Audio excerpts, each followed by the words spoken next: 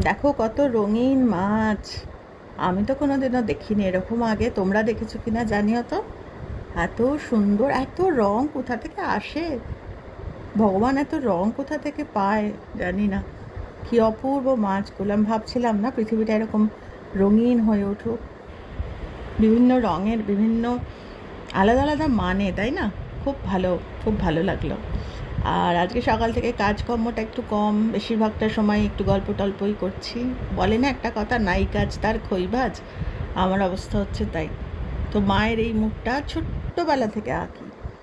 নাকটাকে একটু বেঁকিয়ে দিয়েছি। মা যেন নাকটাকে একটু কুচকেছে আমাদের সকলের বিভিন্ন রকম ভুলভ্রান্তি দেখে মা, মায়ের নাকটাকে একটু কুচকেছে। আমরা চলো সবাই সবার সমস্ত নেগেটিভিটি সরাই। অবশ্য করে বছর যেন আমরা সমস্ত নেগেটিভিটি সব সরিয়ে ফেলতে পারি। তো সেই নাইকাজ, তার খইভাজ, এইগুলো কি বলো তো তোমরা? এগুলো আমি কি লাগাচ্ছি?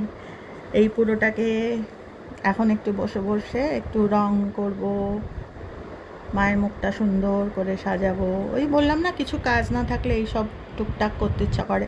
আজকাল হাতটা কাঁপে, দেখো, হাতটা কেঁপে কেঁপে।